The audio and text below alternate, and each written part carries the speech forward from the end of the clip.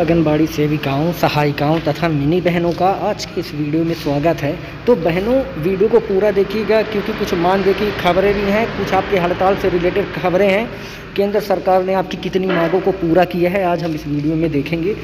तो सबसे पहले जो खबर आ रही है बहनों की, ये व्हाट्सएप मैसेज है, जो कि मुख्य सचिव के द्वारा भेजा गया है। इसमें ये लिखा है कि सुपरवाइजर सीडीपीओ परियोजना अधिकारी इन्होंने अपनी ड्यूटियों को ज्वाइन कर लिया है। जैसा कि मैंने आपको पहले भी बताया है कि एक अप्रैल से सुपरवाइज़र लोग जो भी हैं या C D P D P अधिकारी हैं, वो अपने अपने ड्यूटी पे वापस लौट आए हैं। अगर कोई कार्यकर्ता टर्मिनेट हो जाएगी तो उसके घर का खर्चा कैसे चलेगा, इसका जिम्मेदार कौन है, आप या हम? तो अगर एक अप्रैल से हर कोई अपने ड्यूटी में लौट के आ रहा है सी डी पी ओ हो डी पी ओ हो तो आप भी आप अपने ड्यूटी में लौट जाइए।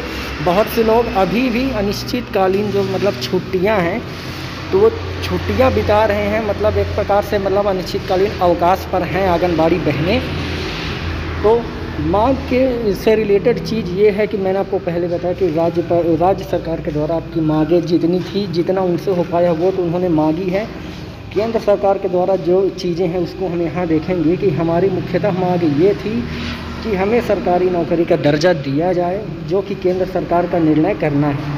तो उनके द्वारा अभी तक अभी तक तो दर्जा नहीं दिया गया है सरकारी कर्मचारी का, लेकिन उन्होंने ये कहा है कि हम मानदेय को मुख्यतः ज़रूर बढ़ाएँगे और छब्बीस हज़ार की मांग को लेकर आंगनबाड़ी बहनें गई थी तो उनके द्वारा यह आश्वासन दिया गया है कि 15 से 25 अप्रैल के बीच में आपका जो मानदेय आएगा, उसमें पता चलेगा कि आपका कितना मानदेय बढ़ाया गया है।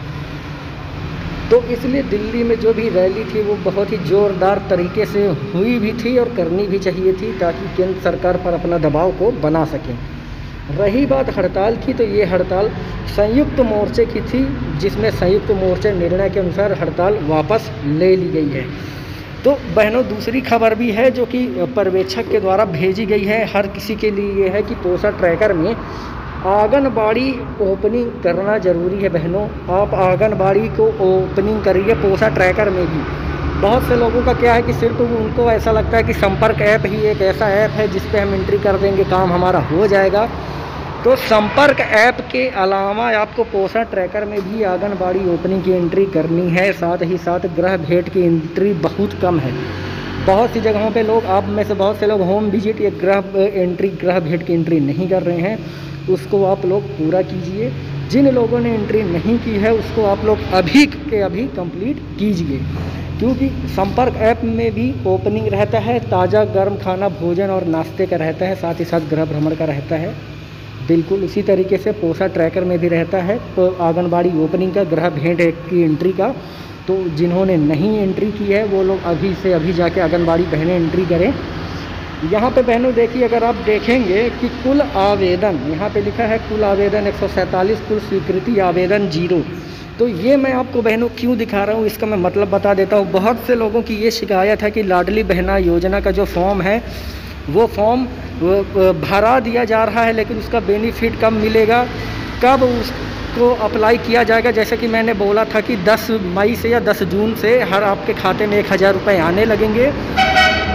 तो सबसे पहले तो मैं यही बता दूँ कि अभी सिर्फ़ आवेदनों को दर्ज किया जा रहा है। आपके द्वारा जो ऑनलाइन फॉर्म लाडली बहना योजना के भराए जा रहे हैं, वो सिर्फ़ दर्ज होते हैं और दर्ज होने के बाद जब वो स्वीकृति के लिए स्वीकृति हो जाएँगे आपकी जो आवेदन आपके द्वारा दर्ज है, वो जब स्वीकृति हो जाएगी तो उसके बाद अगले आने वाले 10 तारीख को, हर महीने के 10 तारीख को आपके खाते में एक हज़ार रुपये लाडली बहना योजना का जाएगा। तो अभी सिर्फ़ आपके आवेदन भरे जा रहे हैं, उनको दर्ज किया जा रहा है, तब आप आवेदन को दर्ज कराइए। फिर उसमें भी जाँच होती है, उसमें भी छटनी होती है, उसमें भी देखा जाता है कि कितने आवेदन फॉर्म योग्य हैं, कितने आवेदन फॉर्म योग्य नहीं हैं। फिर जब आप उस योग्यता में आप लाभार्थी निकलते हैं, तब आपके आवेदन को स्वीकृति दे दी जाती है। तब जाके आपका निकलेगा, वहाँ पे होगा लाडली बहना योजना के लिए। बहनों, ये भीड़ आप देख सकते हैं, ये पूरी की पूरी भीड़ जो है मजदूर संघ और आंगनबाड़ी बहनों की दिल्ली में होने वाला जो हड़ताल थी, कल उनके द्वारा बहुत ही अच्छी, हज़ारों की संख्या में बहनें गई थी और बहुत ही बेहतरीन आंदोलन और हड़ताल किया था। तो वहाँ जिस प्रकार की भीड़ है तो मैं कुछ वीडियो भी आपको दिखाता हूँ। आप देख सकते हैं कि कितनी अच्छी हड़ताल की और सरकार पे यह मेहनत रंग लाई है। तो उनके द्वारा 15 से 25 अप्रैल बोला गया है मानदेय को बढ़ाने की डेट को। तो अब देखते हैं कि 15 से 25 अप्रैल के बीच में कितना उनके द्वारा मानदेय बढ़ा जा, बढ़ाया जाता है। तो आगे हम वीडियो बहनों देखेंगे उसकी। वीडियो को ज़्यादा से ज़्यादा आप लोग लाइक और शेयर कीजिए। चैनल को सब्सक्राइब नहीं किया तो सब्सक्राइब करें बहनों। धन्यवाद।